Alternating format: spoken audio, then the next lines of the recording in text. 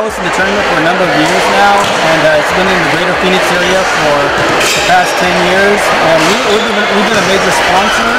So uh, we decided to bring it into Ak-Chin to see how it would evolve and how it would progress. And so far, so good. We've had a, a great response from all the team, from all the coaches, from the parents, just everybody that's come in and invaded Maricopa Ak-Chin in a sense. So so far so good. We've got some great numbers from uh, our enterprises and how uh, we've progressed. So it's been a win-win situation for both the city of Maricopa and our team. Mr. Green, can you talk to us about the uh, intensity you saw out here today? Well, you know, NABI players in general, as far as the tournament, they've always come with great intensity. It's a intense, fast-packed, you know, type of game. Um, they are from side to sideline to sideline, baseline to baseline, and that's what you love to watch.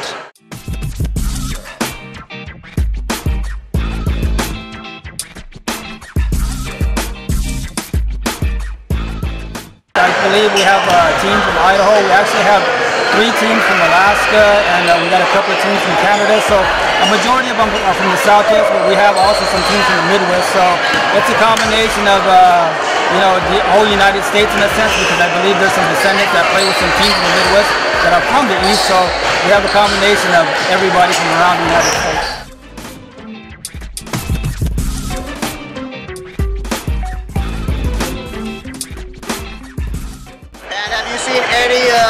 Into the AC Green hardworking uh, player out there? That mold.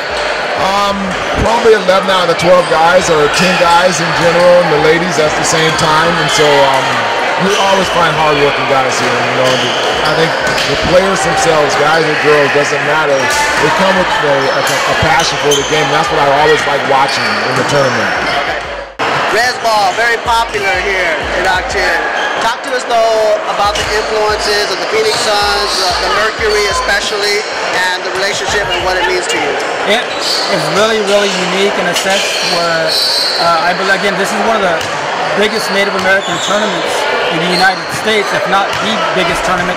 And to have uh, professional teams like the Phoenix Suns and the Mercury involved, it, it only enhances uh, the presence and uh, how big this tournament is. I, I believe they're the only two professional teams that sponsor uh, or support the Native American tournament, such as. So we're excited, and uh, because of them, uh, it's, it's a combination of having them on board that has made this tournament very, very big. And we talk about res ball. The Golden State Warriors I kind of played res ball in a sense, and they ran, they run, they were running and gunning just like a number of teams here uh, are showcasing. But we've been doing this for a number of years, and it's an exciting part of basketball when you can have teams just run and run. Of course, if you, uh, if you don't know, Native Americans are synonymous for their running and their just overall speed and whatnot, endurance. So it's a, it's a great thing to come and see. And again, we're hoping to continue to support NABI in the next couple of years. We only see it getting bigger and better.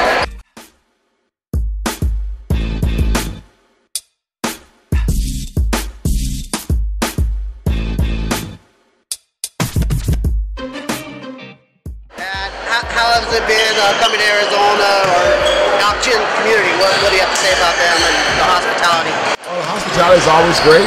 It is. Uh, they love and they, they support the teams as a whole and especially their teams. And, uh, and it's really good to see that because they just want to see good quality basketball being played. And so you respect that. The facilities are awesome. And I love staying here. This is a great place to be at.